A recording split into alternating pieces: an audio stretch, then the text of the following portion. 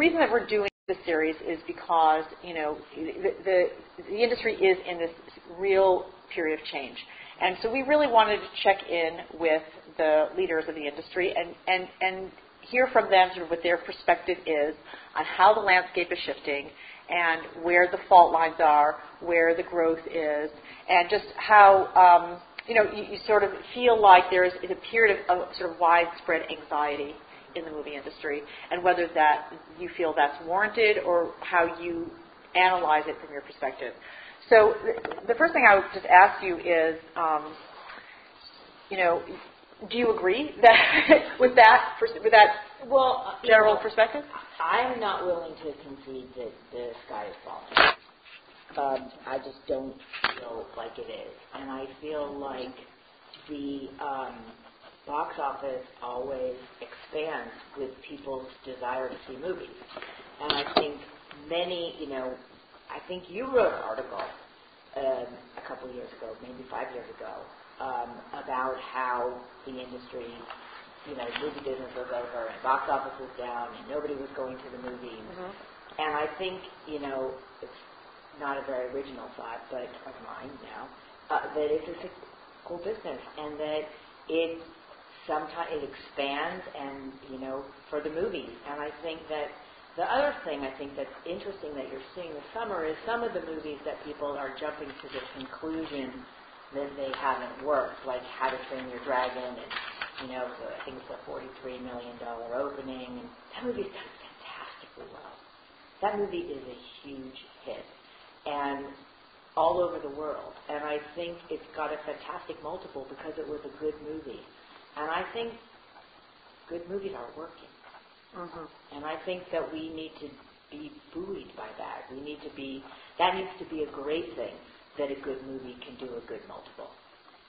So you're saying it can't comes out of the gate and it's not encouraging. Then you I think, to. I think there's a rush to judgment mm-hmm. um, that we're all responsible for. You know, not just the press, all of us, because we all feel like we're under such a microscope these days. And I think there's a rush to judgment from all of us. Oh, that you know, you know, whether we're being competitive with the other studios or you know whatever it is. Yeah. Um, I think everybody's saying this one worked, this one didn't, this one did. You know, Robin Hood's a disaster. Robin Hood's done three hundred mm-hmm. To me, that's a disaster. You know.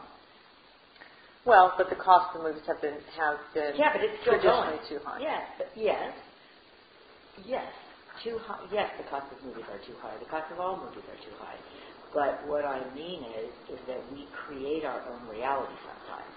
You know, we all decide that something worked or didn't work. You know, sometimes I get the matinee figures at 9 a.m. on Friday, mm-hmm. and I myself am guilty of saying, "Oh my God, we're in trouble." Mm-hmm. Five theaters in New York. Five theaters in New York. You know, um, and it's just not always the case. It's just not always representative of what's going to happen. Do you believe in something called the Twitter effect, which was, I think I was the first person to write about that last summer? Do you think it exists? That when something gets to be one of the main topics on Twitter?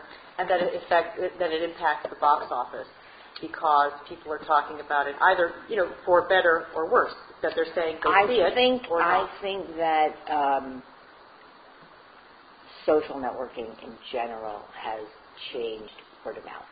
I think word of mouth used to be what you told your friends, and you couldn't tell as many friends verbally as you can across the internet. Mm-hmm. You know, the idea of friends have changed for one thing, and so that the idea that how many people you're telling has changed, and how many people those people are telling has changed, and it becomes an exponential word of mouth thing. It used to be you called up and you go, this movie is really bad, or this uh-huh. movie's great, you have to go see it. Now you're saying it to an insane amount of people. How do you deal with that as somebody who's trying to shape? Well, I try to make good movies, so that's a good. That would be that would be our first thing. Uh-huh. You can't, you know, all you can do is make a good movie and market it as honestly as you can, and you can't tell people how to feel about it after that. And if the movie's good, you hope that those things are going to help you. And for sure, when the movie is not, they are not going to help you. Um, I'll take an example of somebody else's movie. Um, you know, we said, we wrote a story as Sex and the City opened that said it was review proof. The reviews Right. were very bad on that movie. And people went out to see it anyway. So Right. I applaud the notion of making good movies. That's the goal. But Always the goal. it's always the goal. It's good to reaffirm that from somebody who makes movies because it's not, doesn't, it's not always apparent from those of us who go to the movies that that's what everybody's trying to do. But to be fair to all of us, excuse me, nobody sets out to make a crappy movie. Nobody says, you know what, let's make this one bad. You're always trying to make it good. Now, sometimes you succeed in making it good. Sometimes you really succeed in making it great. Sometimes you massively fail and make a bad movie. Right, Which and you- happens. but you still have to sell. But you still have to sell. But it wasn't because you thought, oh, this one doesn't have to work. Right. No, I understand that. But so now, given the social networking and that exponential factor that you're talking about, how do you deal with that?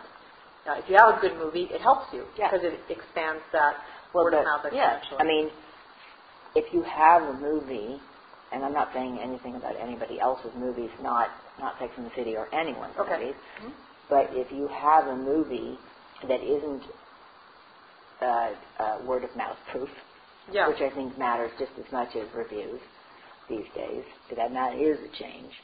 Um, the, the fact that word of I, I think word of mouth is, you know, you trust what your friends say about the entertainment experience probably as much as you do about what any given newspaper or periodical says, you know, because those people know you, they know what you'll like, they like the same things, you don't know the other people who, who are telling you it's good or bad. That's sort of a judgment you can decide you believe or not. Your friends you believe. so do you spend less time thinking about critics and reviews than you did before? I, to be honest, Steve would kill me. I try never to think about them. I just, if you think about critics, um, then you're going to second guess yourself, and you can't do that because if you second guess yourself, um, you won't do anything that is authentic because you won't be able to hear what you're thinking.